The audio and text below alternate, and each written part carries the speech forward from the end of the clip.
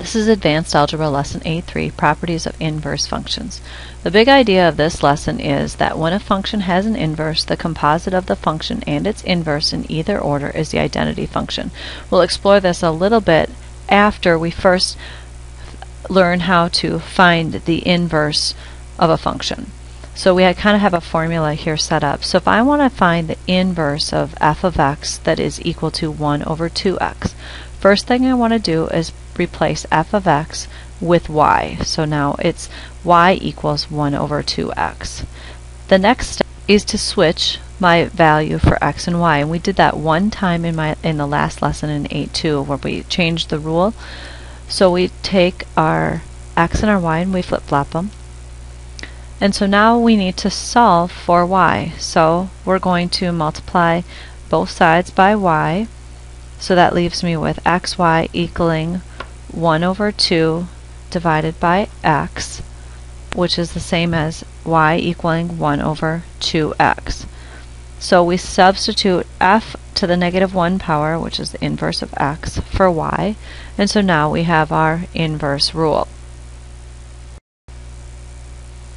We're going to try this again with the function h of x, which is 4 times x plus 7 minus 3 all over 2 and we want to find the inverse of h.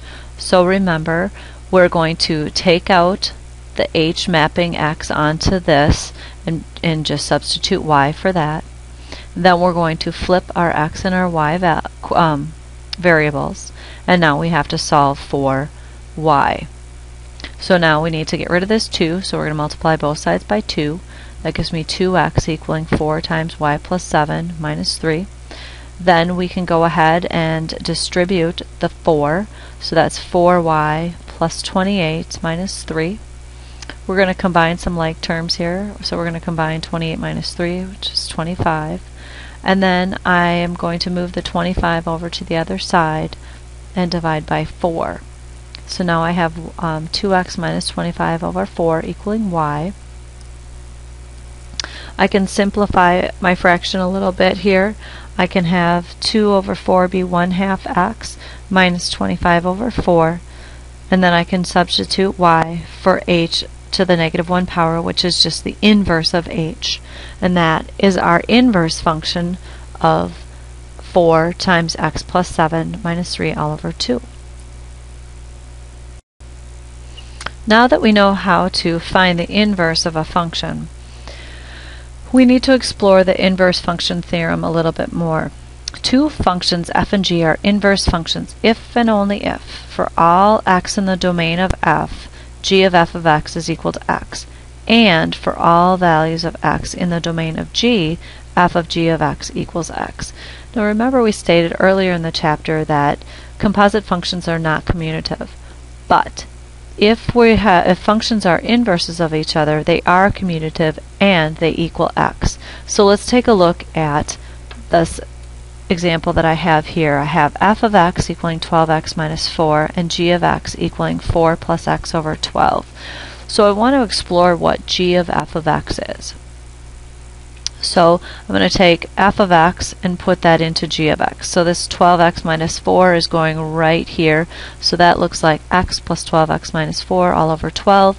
And if I simplify that, the 4's are going to cancel out, and I'm going to get 12x over 12. So there I get x.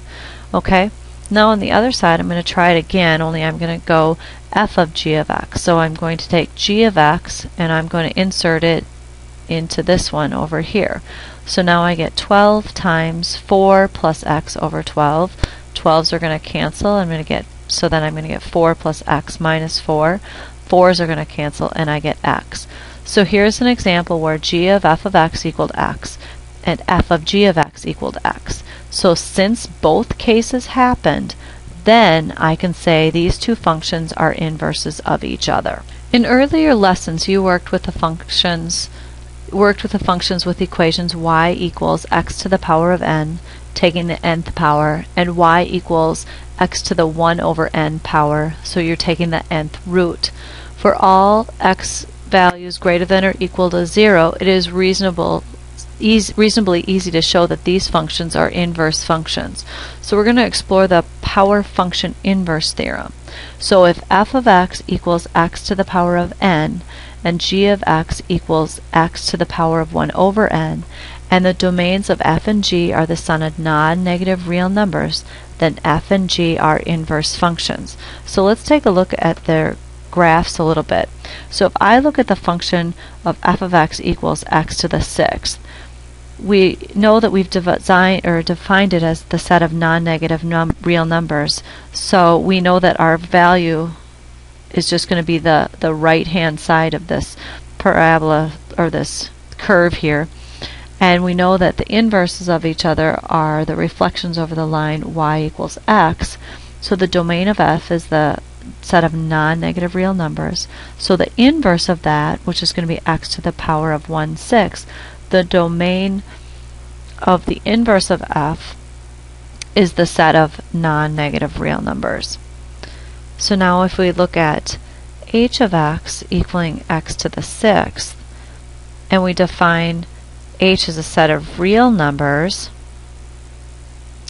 then the inverse of h is not a function because we would not have it would not pass that vertical line test here. So the basic differences that we have with these two graphs is in the first one we restricted the domain to the set of non-negative real numbers. When we restrict the domain then the inverses of each other are the function and its inverse are both functions. But if we don't restrict the domain of the first one then um, our inverse will not be a function even though our original was a function. We will explore this idea more in class with some more examples. This concludes lesson 8.3.